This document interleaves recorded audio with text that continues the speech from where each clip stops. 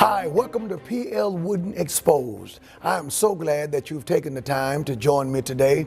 PL Wooden Exposed is an extension of the Upper Room Ministry where I get a chance to talk to you and to give my opinion on various issues and topics with a thus saith the Lord uh, slant to it. I've been told by people that what Pastor Wooden doesn't understand is that you have to separate religion from politics or you got to separate religion from this or religion from that. Well, I believe that God speaks to every aspect of our lives. The Bible says in Proverbs 3 and 6, in all, not some, but in all thy ways acknowledge him, and he will direct thy path. So, whether I'm talking about uh, elections or politics or laws that are being passed or things that's happening that affect the people of God, um, I want you to continue to tune in and be a part of PL Wooden Exposed. We talk about family issues, judicial issues, entertainment issues, but we want to know what the God of the Bible has to say about these things and how they affect God's people. So stay tuned and tell a friend about PL Wooden Exposed.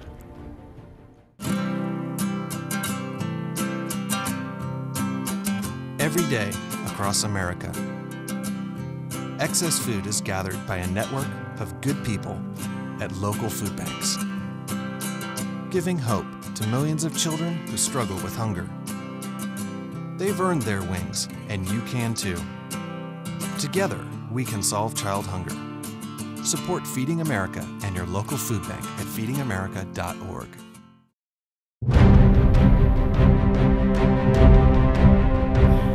Welcome back to PL Wooden Exposed. We're having a wonderful conversation with the uh, chairman of the Commission of Public Health, uh, also a 2012 Electoral College member for the state of North Carolina, Miss Felice Pete.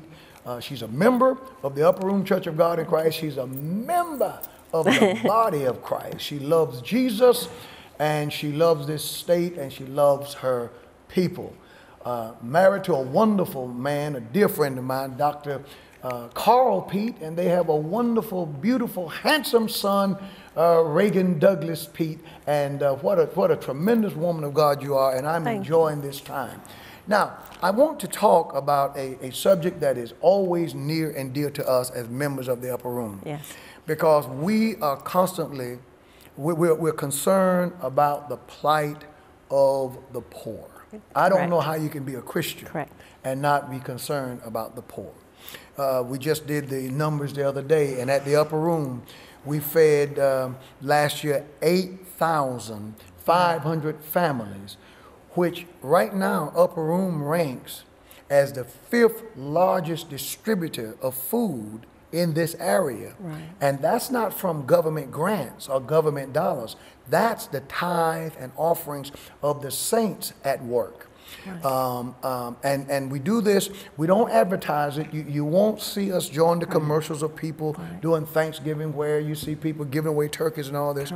Because we do it all the time. Right. There are 52 weeks in a year and people's got to eat every week. So we don't just talk the talk. We we walk the walk, and and you are a supporter of the church, a tither, a giver. So you're feeding those those people also. Mm-hmm. Right. But we hear quite a bit in the news. You know, you, you see the Moral Mondays gatherings, and we hear from uh, others that uh, people who are are conservative, um, people who are on the right, Right. don't care about the poor. The- That, that, that, that, that our position is let the poor fend for themselves. Now, I do think on the right, we have not done a great job, a good job as Christians, uh, and, and there are people who are on the right who are not, but as Christians, uh, not telling our story Right. and not sharing that, uh, that no one is as generous toward the poor as those who are, who are conservative, those who are born again, those who love the Lord Jesus. Right. Now, there are laws and, and there, there are things that are being pushed um, that, are, that, that make the news that are, that are painting a, a false picture of where we stand with regard to being concerned about that everyday person, that struggling young lady. Listen, she's got three children. Right. She's never been married. Right. But she is still for whom Christ died. Yes. Those kids can grow up and make a tremendous difference in the world. Uh, you know, I, I, I believe in social safety nets. I just don't believe in socialism, and I believe that the the, so, the, the, the safety nets. Uh, I, I was I was part of a well. My mom went on welfare for a minute, Right. and so uh, I thank the Lord that my children uh, don't know welfare. I thank Right. God that uh, my children never knew free lunch. I did, and, and, and I'm glad that it was there at the time, but I didn't. It didn't, it didn't become a crutch. What's going on? What do you have to say about uh, what's happening uh, in the media, and, and more more importantly, in the in the legislature and with laws and things that are being pushed um, with regards to concern about the poor?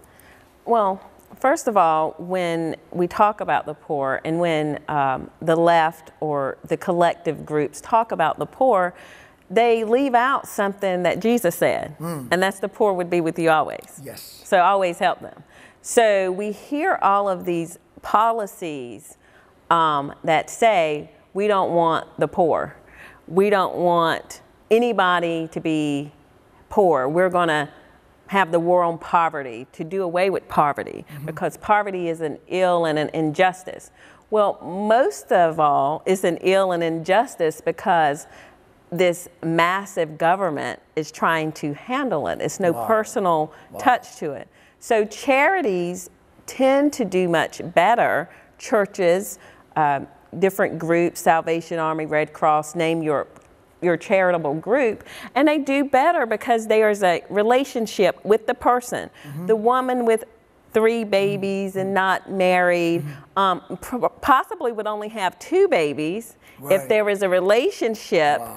Because the person would be, well, how are you doing? Well, what's going on? The church would be, well, here, right. this is, and there would be an accountability to the individual, one for her and the church and the people that helped her. Oh, she Oh, that's could good. she could see that. Yeah. As a government entity, people do not see that. And so they legislate away the goods. In steps corruption, Mm. which is why the government has done such a poor job at the war on poverty. Because once it's in the hands of all the administrators, all of these people chomping at the bit, all of the leagues and associations that purport to help poor people, is corruption and cronyism. And that's on both sides, left Yeah. and right. Right, right. take your take your program you know. Um, and, and so that's why big government is a problem and governments should not be in the business of helping people. It's not constitutionally bound. It's not anywhere in any um, founders notes that you can find. Because again as christian believers it's about the individual.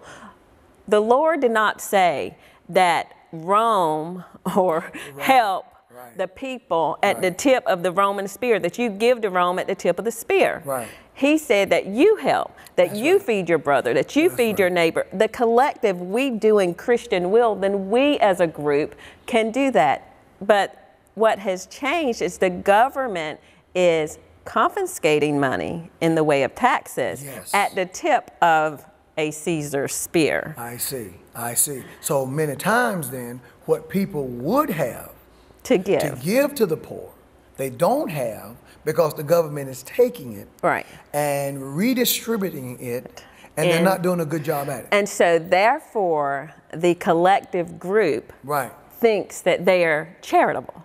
Wow. So they, it's almost, to me, it's almost like the effect that of all things, Christian television, and I'm, I'm on television, but I noticed that as Christian television has spread and, and Yes. become more popular, fewer and fewer individual believers share their faith. Right. People don't witness because they think that the faith is being shared on the on the television. Correct. But there's nothing like word of mouth. Word of mouth. So when people vote for these politicians who say we're going to eradicate poverty, Mm-hmm. we're going to make sure this and that is in place to feed the poor.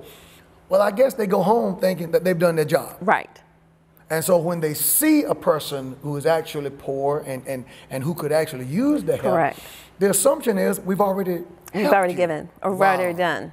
Um, I have an instance of a very, very left leaning, wealthy person Mm-hmm. who is a friend of mine who um, I often ask, hey, can you help with this? There's a person who's in need.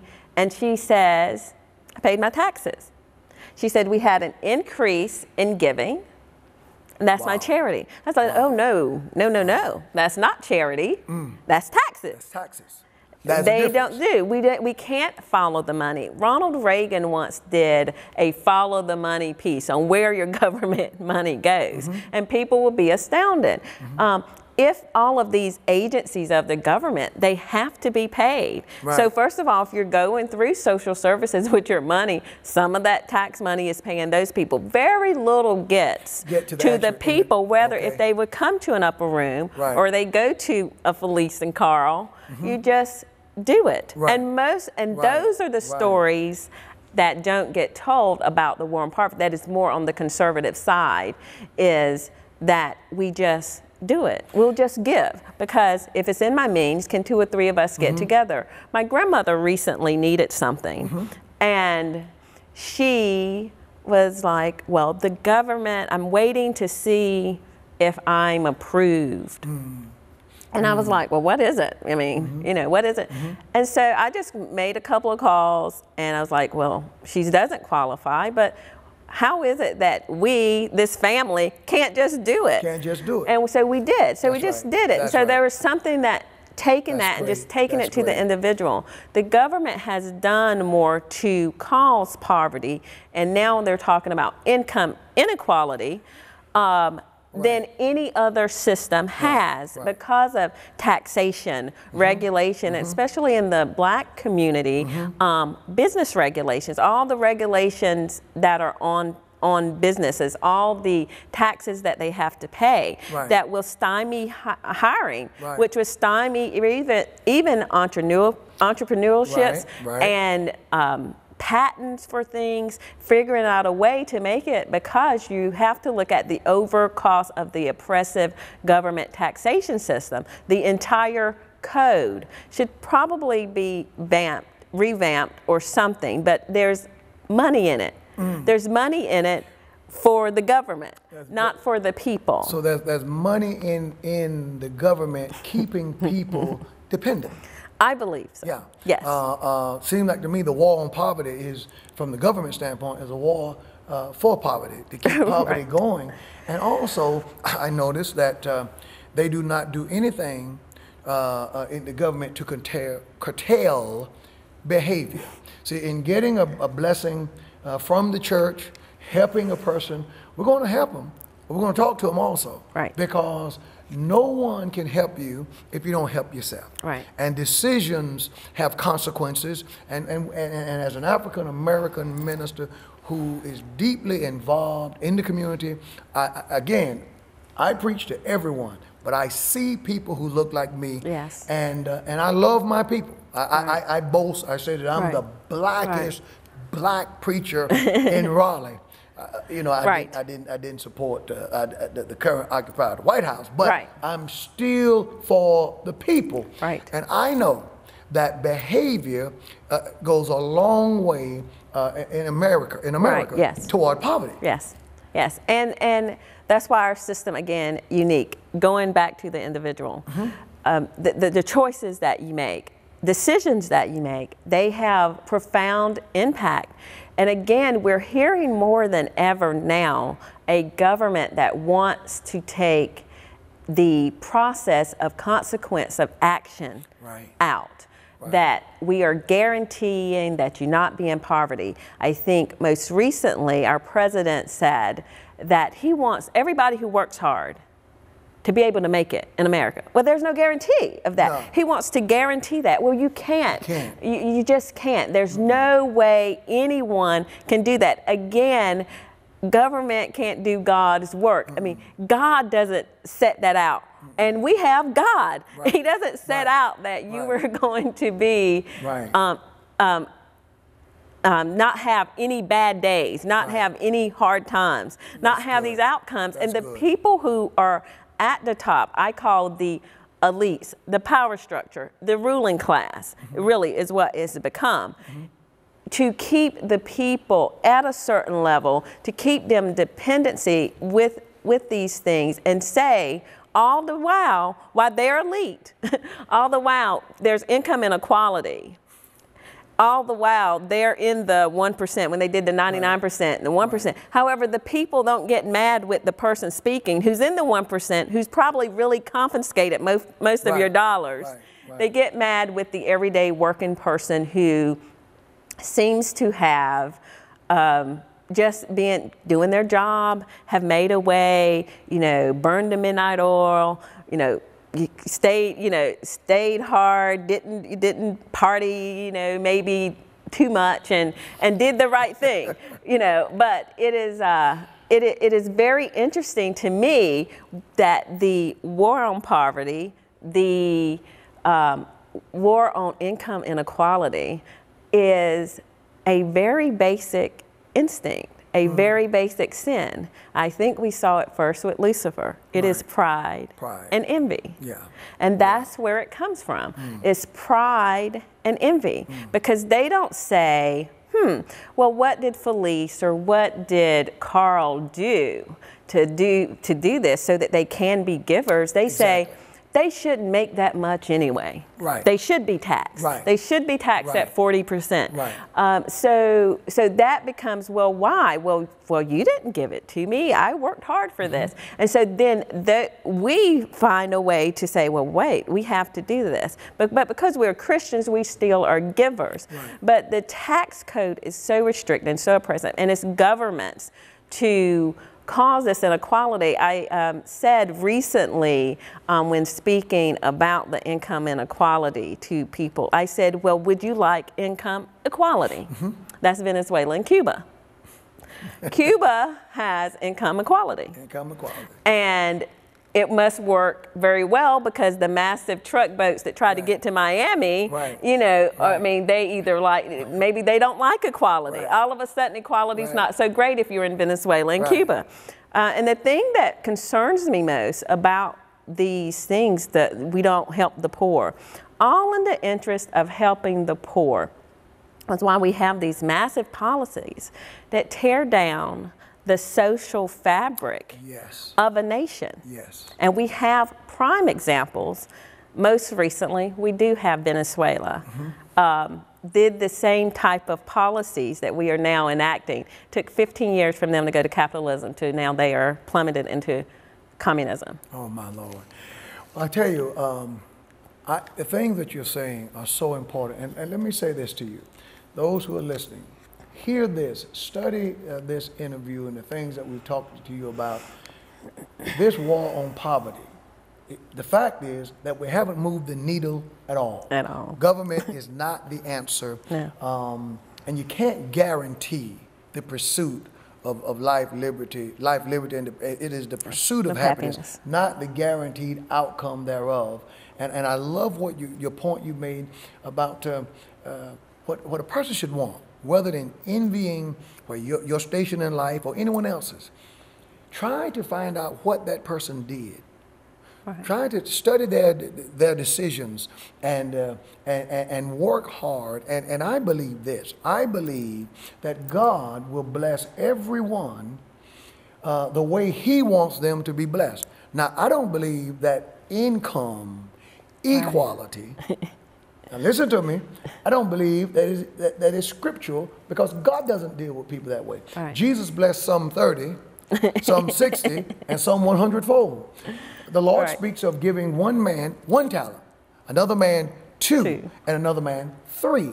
So, in, in, in an attempt to make things equal, what they're doing is they're pulling they're pulling people down, Yes. but they're not pulling, Pulling people, people up. up, right. And we need uh, in the church what we've seen. We've seen people come up. I've seen people Yes. come to the church on welfare and end up owning their own businesses and they're still in the church today. Right. I know what God can do when a person put their hand in his hand and, and obey the Lord.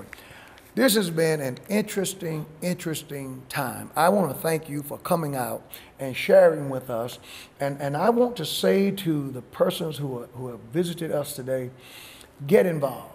Uh, this is our time this is our season. And I believe this. I believe if you miss this moment, you'll miss the moment like the young man missed it when the Lord Jesus said to him, Yes. Follow me. Correct. And that young man said to the Lord, I'll follow you, but let me first go and bury my dad. The truth is, more than likely, Felice, his father wasn't even sick. Right. That was a- an idiomatic expression of saying, I have other things to do. I got to make sure dad is buried first, then I'll go and preach the gospel. Right. And, and, and our Lord says, no, no, no. Right. This thing is urgent. Yeah. Let the dead, the spiritually dead, bury their dead, but you go and preach the Correct. gospel. My friends, go and preach the gospel. Get involved in the process. Do Right. your homework. Don't be a low information voter, but get involved.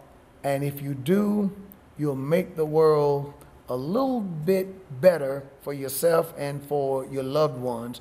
Of course, it's not. Of course, Felice is not going to get right Right. Until Jesus comes. That is correct. and I'm excited about right. that. But we're occupying. Hallelujah. Right? we want to occupy. Until the next time, you've been watching PL Wooden Exposed.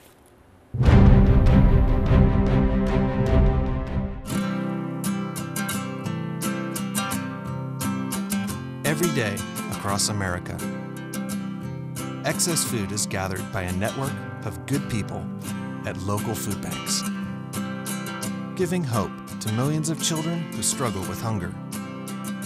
They've earned their wings, and you can too. Together, we can solve child hunger. Support Feeding America and your local food bank at feedingamerica.org.